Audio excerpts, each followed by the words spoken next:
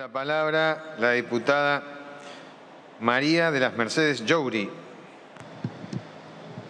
Gracias, presidente.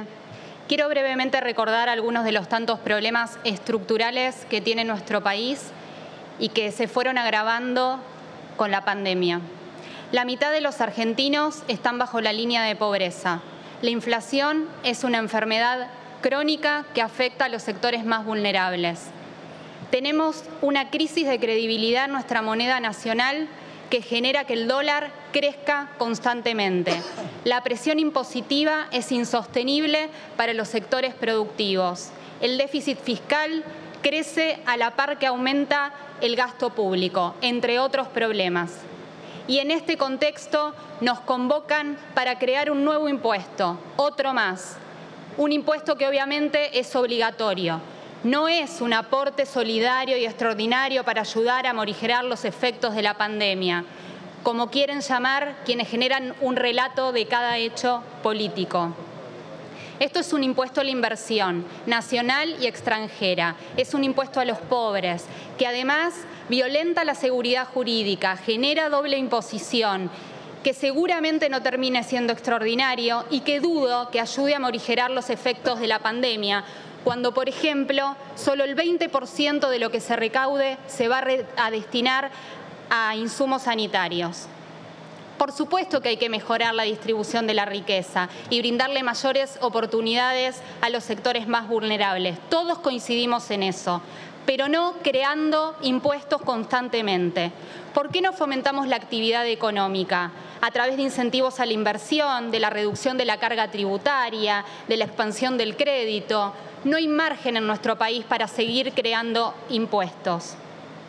Eso ahuyenta la riqueza y ya lo estamos viendo con los miles de argentinos que se fueron y los otros miles que tienen previsto hacerlo porque no toleran la carga tributaria.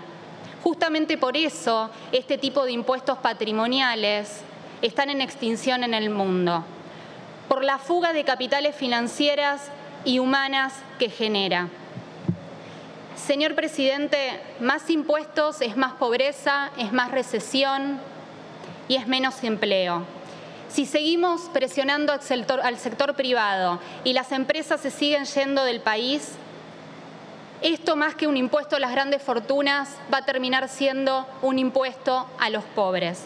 ¿Qué empresa va a querer invertir en un país con semejante inseguridad jurídica y presión tributaria? ¿Y quién se va a hacer cargo de los millones de eh, desempleos que se generen? ¿El Estado? Y encima, con este impuesto, vamos a generar una doble imposición, porque ya tenemos un impuesto patrimonial que es el de los bienes personales, que aumentó un 800% en diciembre del año pasado. Y todos sabemos que a lo largo de la historia de la Argentina, los impuestos que han llegado de manera excepcional o extraordinaria se terminaron convirtiendo en impuestos permanentes. El impuesto a bienes personales, el impuesto a las ganancias, al cheque, entre otros. Es evidente que este impuesto llegó para quedarse. Señor presidente, si verdaderamente queremos mejorar la situación de este país, tenemos que generar confianza y seguridad jurídica. Dejen de presionar impositivamente al sector productivo, que es el que genera inversiones, el que produce y el que genera empleos. Dejen de asfixiar a los que trabajan y no dependen de ustedes. Por favor, dejen de dividir a los argentinos. Muchas gracias. Gracias, diputada.